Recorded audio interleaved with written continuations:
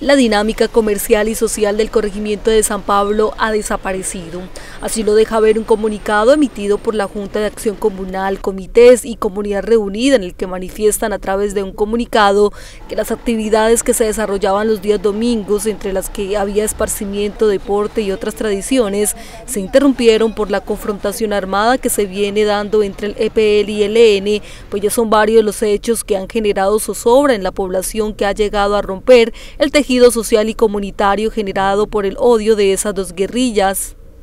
Según lo explicado en el documento que resalta como hecho repudiable el asesinato del pasado fin de semana de un hombre que fue acribillado ante la presencia de niños y mujeres y familiares de la víctima en pleno casco urbano.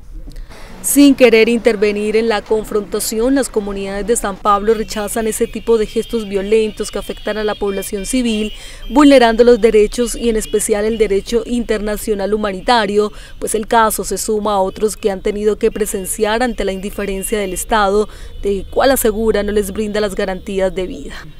Ante el reclamo vino una serie de exigencias de la población civil a los actores armados para que tengan como principio el respeto a la vida, estricto respeto a los derechos humanos y cumplimiento al derecho internacional humanitario y le recordaron que el corregimiento de San Pablo no puede ser visto como laboratorio de muerte,